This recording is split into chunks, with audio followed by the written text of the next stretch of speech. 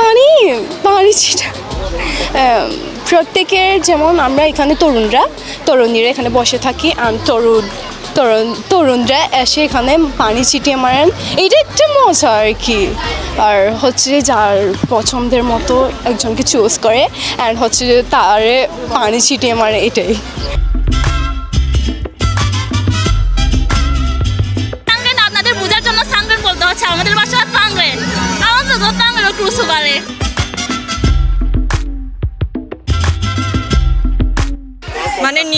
New আমরা হচ্ছে welcome জানাই যেন সব কিছু লাইক ভালো হয়, আমাদের সব কিছু গুড লাক আসে। বাঙালিদের যেমন নববর্ষ উদযাপন করা হয়, এটাও আমাদের একটি নববর্ষ। যাকে আমরা বলে থাকি ওয়াটার ফেস্টিভ্যাল বা টাংরাই। টাংরাই শুধু আমাদের এই যে জলখেলি উৎসব, শুধু আমরা পানি মারি তা না, আমরা কিন্তু প্রথম পর্বে গিয়ে বুদ্ধকে স্নান করে আসছি। এরপরে আমাদের এই নিজেদের মধ্যে এই পর্বটি শুরু করছি।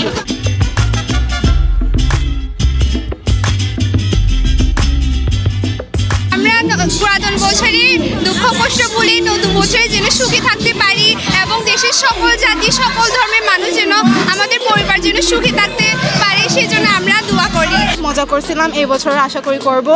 আর গত প্রত্যেক বছর আমরা পানি খেলার মাধ্যমে নতুন বছরকে ওয়েলকাম জানাই, আর পুরাতন বছরকে বিদায় করি।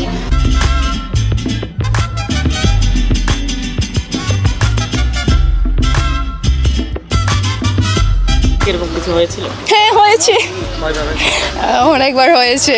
আমরা তো ছোটোকাল থেকে প্যান্ডেলে বসি তো অনেকে অনেক রকম মারে বাট ওইটা ভুলে যাই আই ডোন্ট নো পুরো বছরের যা দুঃখ কষ্ট ছিল সেগুলোকে ভুলে আমরা এই পানি খেলার উৎসবের মধ্যে নতুন বছরকে স্বাগতম জানাই।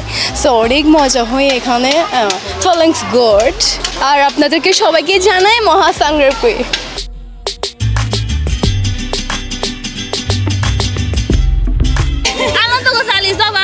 নমস্কার।